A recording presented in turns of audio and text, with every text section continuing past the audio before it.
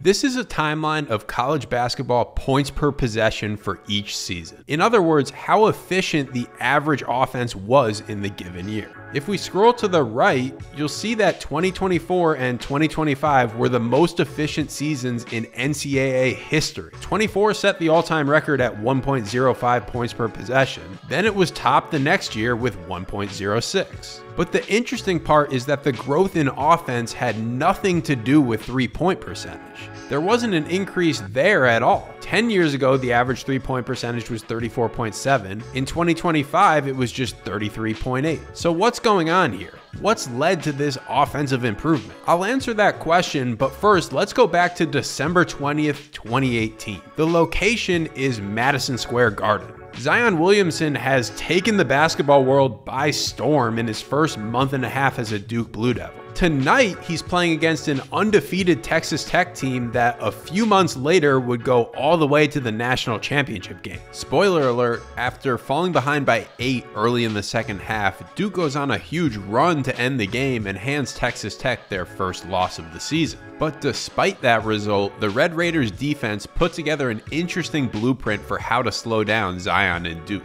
The Blue Devils were called for nine offensive fouls, which was the most committed in a single game tracked up to that point in the season, according to an article in The Athletic by Ken Pomeroy. Of those nine fouls, eight of them were due to Texas Tech successfully taking a charge. In fact, Zion fouled out of the game on a charge call. It was his third of the night. Like I mentioned, Duke ultimately survived, but it was the first time all season they had been held under one point per possession, scoring just 0.85. And by the end of the season, Texas Tech would finish with the best adjusted defensive efficiency rating in 20 years. They were an all time great defense. The nine offensive fouls were no fluke. The charge was a major part of Chris Beard and Mark Adams' defensive strategy. By forcing the ball handler to the baseline and then aggressively helping outside of the restricted area to take a charge, Texas Tech's defensive scheme spread like wildfire to other coaches. Scott Drew, Grant McCasland, Buzz Williams, TJ Otzelberger, and my former boss Chris Jans are all prominent high major coaches that used no middle defenses after Tech's success. In other words, no middle was the most popular defense in all of college basketball. The key word there is was, because now years later, basically no one, including Chris Beard himself, is running the defense to that same extreme that the Red Raiders did in that 2018-19 season. The most popular schematic concept in the NCAA is now starting to go extinct. Why? Because of a major rule change that not enough people are talking about. I'll explain that rule, and more importantly, I'll explain exactly how it's changing the way defenses play. And don't forget about this timeline, we'll be adding more stats to it at the end of the video. My online course is now available for purchase. It was created by myself and Ken Pomeroy, and in it we teach basketball analytics from the ground all the way up. The course was made specifically for coaches and teaches you how to use data to optimize how you think about basketball strategy. It contains 12 modules on all different facets of the game and can be taken at whatever pace you'd like. For a limited time, you can use the promo code YouTube for a discount at checkout. Link is in the description. There were numerous rule changes made prior to the 23 24 season. The rule that will undoubtedly get the most attention is the subject of this week's video legal guarding position. Last season, a defender needed to establish guarding position on an airborne player prior to that player leaving the floor.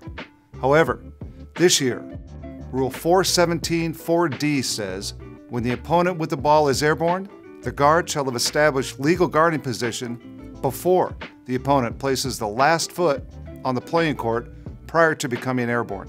So the rule used to be that you needed to be in legal guarding position prior to the offensive player leaving the floor. Now the rule is you need it prior to the offensive player planting his foot on the ground. There were plenty of people who were skeptical that this rule would change anything. Those skeptics have been very wrong. To start the 2024 season, players trying to take charges were getting called for blocking fouls at such a high rate, defenses were forced to stop trying to take charges altogether even the teams and coaches that used to love the charge the most. It's arguably now harder to take a charge as a secondary defender in college than the NBA. The NBA rule is you must be in legal guarding position before the offensive player is in his upward motion, which in terms of sequencing, upward motion happens after the plant foot has occurred.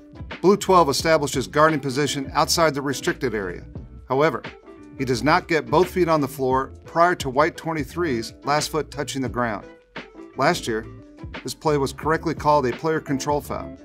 This year, however, this play will be correctly called a blocking foul on Blue 12. I talked in the intro about how Chris Beard was the king of the charge. Not anymore. His team at Ole Miss now relies on using verticality when helping on drives, a technique where the defender puts their arms straight up in the air and jumps to contest the driver. By rule, you're entitled to a vertical contest even in the restricted area as long as you jump straight up and down. You can't jump from A to B, only A to A. That's the terminology officials use. With more coaches now teaching verticality, block percentage increased from 8.8% in 2023 to 9.3% in 24. Charges aren't specifically labeled in NCAA play by play data, but offensive fouls are, which includes charges but also things like illegal screens or hooking fouls. According to CBBAnalytics.com data, offensive fouls decreased by a ridiculous 37% in 2024, and then they decreased even more in 2025. Defensive technique and scheme has clearly changed, but it goes beyond just the vertical contests. Let's go back to 2019 and look at Texas Tech's foot angles here. Kyler Edwards is so aggressive in his no middle stance, he's basically parallel with the sideline. Or here, look at how they guard RJ Barrett. He's a lefty, yet he's being forced to drive left. The goal for this version of Beard's team was to send the ball baseline with a help defender stepping up to take a charge as soon as the driver got even a little out of control. In 2025, Beard's team is still no middle on defense at Ole Miss, but with a pretty different philosophy. When Michigan State drives baseline here, watch Juju Murray. He cuts Tre Holloman off, not letting him drive. You would have almost never seen that from Beard's past teams.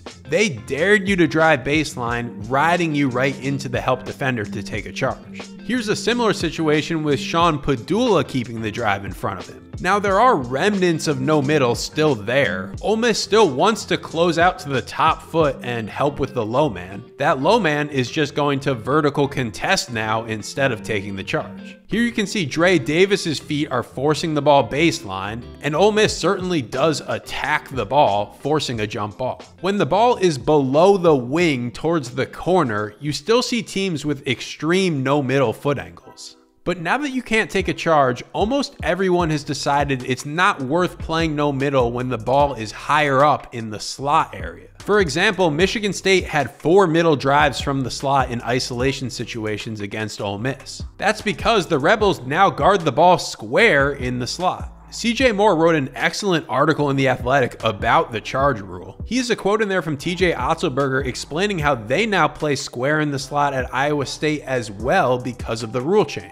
We used no middle concepts at Mississippi State last season, but also treated the slot differently than the wing or corner, guarding it more square and trying to keep the ball in front. However, when the ball was below the slot, we took a different approach than most defenses. Traditionally, the player guarding the lowest defender on the weak side is the main helper in a no middle defense. There's a lot of different names for this defender, but we'll refer to it as the low man. Usually, the low man positions himself on the midline in the center of the lane. On the drive to the basket, that player would come over and take a charge, at least before the rule change. But last season, we put our low man on the strong side lane line all the way over closer to the ball. The theory was that because you can no longer take the charge, the help needs to be even closer to the ball to prevent a drive to the rim. Now that positioning is pretty extreme, but I have plenty of video evidence of us doing it. Here Josh Hubbard is the low man, here it's KeShawn Murphy, and here it's Claudell Harris. On this play, you can really see our principles. Claudell's man cuts through to the weak side, but instead of going with him, he stops right on that lane line where he's then able to stop the ball. In a perfect world, we wanted to be aggressive with our low man,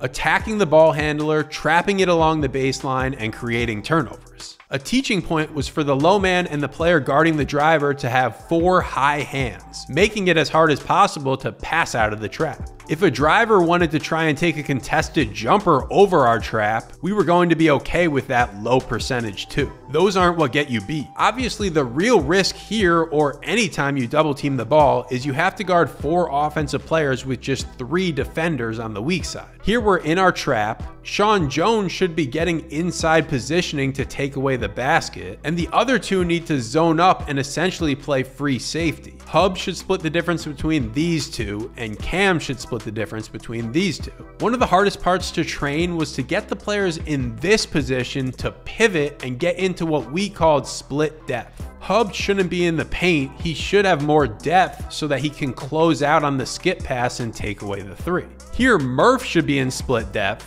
but you can see how his instincts bring him into the paint instead. Another challenge was to get our low man to move on the flight of the ball during a long pass. The ball is about to be passed ahead to the wing, making Riley Kugel the low man. He's behind the play, so now our trap is also playing from behind.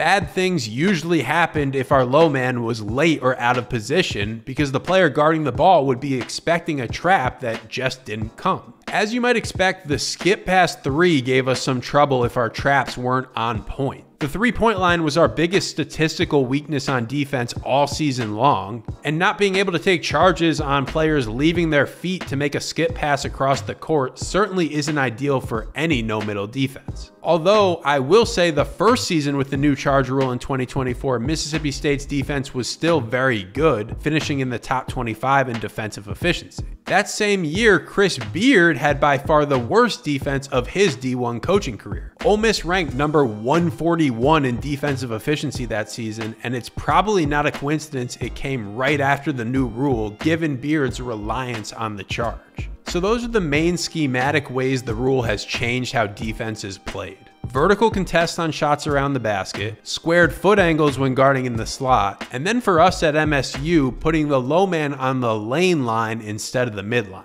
The statistical changes from the rule have been pretty drastic, but I still haven't explained the question in the intro about this timeline. It turns out the offensive improvements were due to an increase in two point shooting and a decrease in turnover percentage. Those are the exact categories affected by defenses taking charges. The charge makes it harder to finish at the rim and by definition leads to a turnover. Without it, those stats have improved for the offense. Now the question becomes what will defenses cook up next to fight back against this increase in efficiency? The game always evolves. Necessity is the mother of invention. I don't know what that evolution will look like, but I'll be watching.